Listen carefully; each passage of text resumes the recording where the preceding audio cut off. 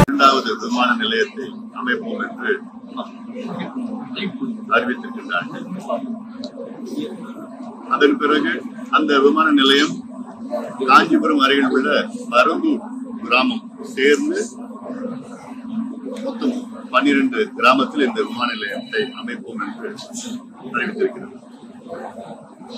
அதன் பிறகு அந்த பகுதியில் உள்ள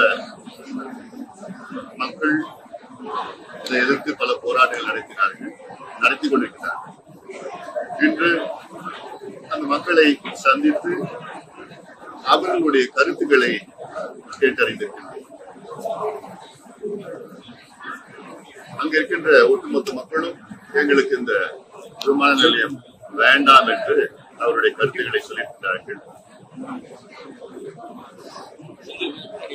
இதை அடுத்து பாட்டாளி கட்சி சார்பிலே ஒரு எழுவர் குழுவை ஒன்று அமைத்திருக்கின்றோம். இந்த குழுவுக்கு தலைவர் எங்கள் கட்சியில் உள்ள கௌரவ தலைவர் திரு ஜி கே மணி எம்எல்ஏ அவர்கள் தலைமையில எழுவர் குழு ஒன்று அமைத்து பாதிக்கப்பட்ட பன்னிரண்டு கிராமத்தை சார்ந்த மக்களை அங்கே நேரிலே சந்தித்து அந்த பகுதிக்கு சென்று அங்க இருக்கின்ற நீர்நிலைகளோ அங்க இருக்கின்ற விளைநிலைகளை பார்த்து அதன் பிறகு அரசிடம் நேரடியாக பேச்சுவார்த்தை நடத்தி இதை எப்படி அதை திட்டமிட்டிருக்கிறார்கள்? என்னென்ன அரசு செய்ய போகிறது? இதையெல்லாம் கண்டறிந்து அதன் பிறகு நாங்கள் ஒரு முடிவெடுப்போம். வெறும் அறிவிப்பு தான் வந்திருக்கிறது. இதில் எந்த மாடலில் அவர் செய்ய செய்ய இருக்கின்றார்கள்? இது முழுமையாக அரசு செய்கிறதா? அல்லது பப்ளிக் பிரைவேட் பார்ட்டிசிபேஷனா பிறகு ஏன் இந்த பகுதியை தேர்வு செய்தார்கள்? மற்ற பகுதியில் ஏன் இதை கொண்டு வரக்கூடாது? நீர்நிலைகளை என்ன செய்ய இருக்கின்றார்கள்? இதற்கு ஒரு முக்கிய காரணம் காவிரிப்பாக்கம் ஏரியிலிருந்து வடிகால் மூலமாக அடுத்தடுத்த ஏரிகளில் வந்து செம்பரம்பாக்கம் ஏரிக்கு தண்ணீர் வருகின்ற இந்த பகுதி இது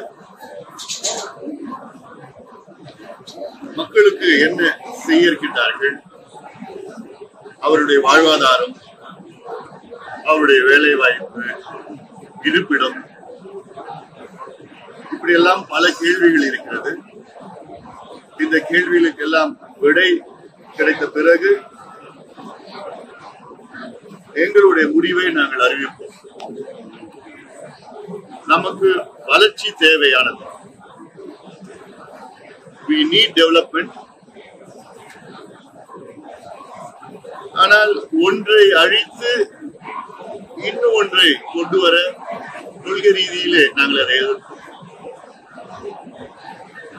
வளர்ச்சி அதுவும் வேளாண் வேளாண் துறையும் ஒரு வளர்ச்சி தான். இப்போ மாடர்ன் டெவலப்மெண்ட் என்று சொல்வது விவசாயத்தை அழித்து கட்டுமானங்களை கொண்டு வருவதுதான். அரசு அதை அப்படி நினைத்துக் கொண்டிருக்கிறது. எங்களை பொறுத்த வரைக்கும் இரண்டுமே அருகில் அருகில் இருக்க வேண்டும். வளர்ச்சியும் வேண்டும் வேளாண்மையும் வேண்டும் சுற்றுச்சூழலும் வேண்டும் நீர் மேலாண்மையும் வேண்டும் நாம் எதிர்கொள்ள இருக்கின்ற பெரிய சோதனை வரும் காலத்திலே காலநிலை மாற்றம். கிளைம் பகுதிகளில் பாத்தீங்கன்னா உப்பளம்லாம் இருக்கு. சென்னை அருகில் உள்ள உப்பளம் அங்க வந்து யாரும் அங்க விவசாயமும் கிடையாது. வெறும் அரசு நிலம் தான் இருக்கு. இங்கெல்லாம் ஏன் கொண்டு வரல அப்படின்னா எங்களோட குழு அரசிட சென்று இந்த கேள்விக்கெல்லாம் விடை தெரிந்து இந்த பகுதி ஏன் தேர்வு செய்தார்கள்? இதெல்லாம் இன்னும் சில கேள்விகள் எல்லாம் இருக்கிறது. அது வேற விதமான கேள்விகள்லாம் இருக்கு. அதனால இதெல்லாம் முழுமையாக தெரிந்த பின் எங்களுடைய அடுத்த கட்டத்தை நாங்கள் அறிவிப்போம். அடுத்து என்ன நாங்க செய்ய போறோம் என்னன்னு. நான் மீண்டும் சொல்வது வளர்ச்சி அவசியமானது. வளர்ச்சி நமக்கு தேவை. ஆனால் விவசாயத்தையோ நீர் மேலாண்மை நீர் திட்டங்களையோ சுற்றுச்சூழலை அழித்து அந்த வளர்ச்சி கொண்டு வருவது அது நாங்கள் கொள்கை ரீதியிலே நாங்கள் ஏற்றுக்கொள்ள மாட்டோம். எட்டு வழிச்சாலை ஒரு உதாரணம். இதுமே தேவையில்லை. அது என்னை பொறுத்த வரைக்கும் வளர்ச்சியே கிடையாது. என்எல்சி என்பது அது வளர்ச்சி திட்டமே கிடையாது. அது அழிக்கின்ற திட்டம். மக்களையும் மண்ணையும் விவசாயத்தையும் நீர் நீரையும் அழிக்கின்ற திட்டம் அது. அது போன்ற திட்டம் வேண்டாம். அதனால இது மீண்டும் சொல்வது இன்னைக்கு கருத்துக்களை கேட்டிருக்கின்றோம்.